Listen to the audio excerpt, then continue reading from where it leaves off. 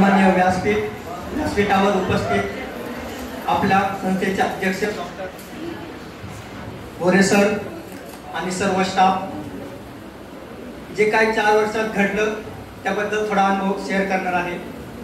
पहिली गोष्ट म्हणजे जेव्हा मला ऍडमिशन घ्यायचं होतं माझा या कॉलेजला सेकंड राऊंडला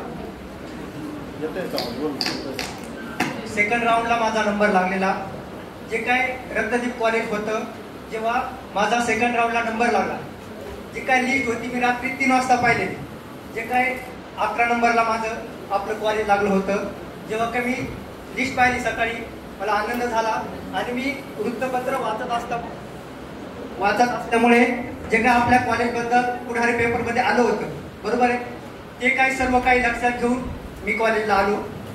कॉलेजला आल्यानंतर इथालचा परिसर पाहता सर्व गोष्टींचा विचार करता त्यानंतर जेव्हा मी सरांच्या समोर गेलो बरोबर आहे?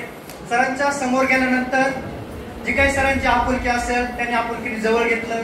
जे काही आमचे नातेसंबंध मिळाले यास- या सर्व गोष्टींचा विचार करून फक्त सरांचा स्वभाव सरांची जी काही पर्सनॅलिटी व्यक्तिमत्व त्याची राजकीय पावर असेल असं वाटलं होतं मला. या सर्व गोष्टींचा विचार करून मी ऍडमिशन घेतलं. त्यानंतर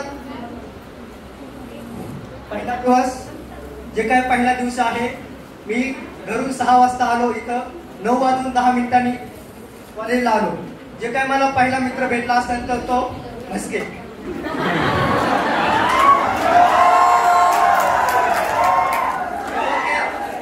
जेव्हा जेव्हा काय तू म्हस्के भेटला त्यानंतर आम्ही रिक्षात आलो. पहिल्या सीटवर बसलो होतो. तो इकडून मी इकडून बसलेलो. त्यानंतर त्याने विचारलं तू कुडालचं मी कुडालचं? अशी चर्चा झाली. चर्चा झाल्यानंतर आम्ही प्रत्यक्षात कॉलेजमध्ये आलो. कॉलेजमध्ये लेट झालो. लेट झाल्यामुळे आम्हाला पहिल्या बेंचवर बसावं लागलं.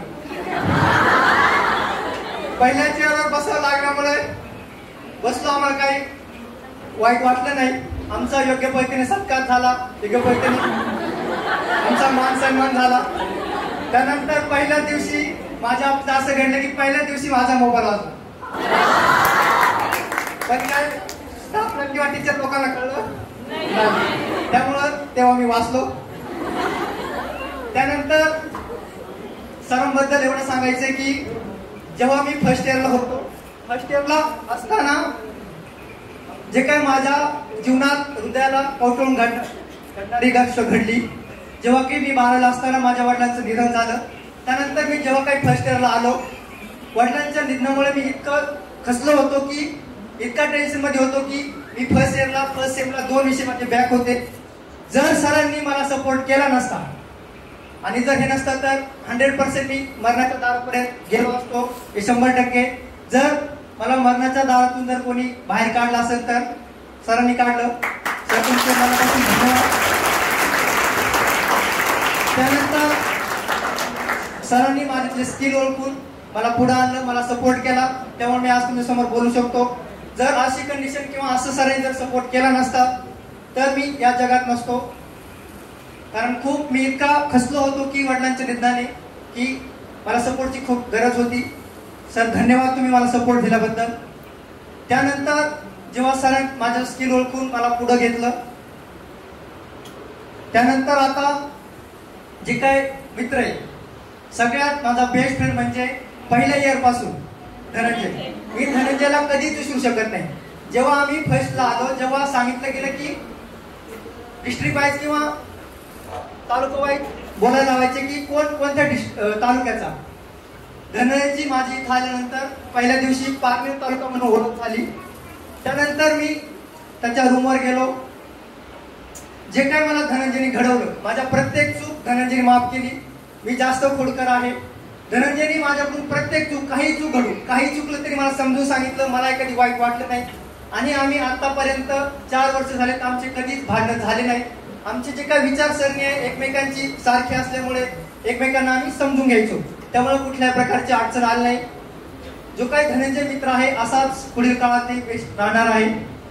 त्यानंतर सांगायचं आहे की जेव्हा आम्ही सरांनी आम्हाला टीचर बनून स्टुडंटला शिकवण्याची संधी दिली. मी असा एकही क्लास सोडला नाही की प्रत्येक क्लासवर मी लेक्चर घेतलेला आहे. आपले फार्मसीचे सहाचे सहा क्लास त्यानंतर नर्सिंगला पण शिकवलेला आहे. जेव्हा काही शिकवत असताना पहिल्यांदा स्टार्टिंग ही ऑनलाईन लेक्चरपासून झाली. ऑनलाईन लेक्चर घेत असताना पहिल्यांदा माझ्याकडे डी फार्मचा सेकंड इयरचा क्लास आला.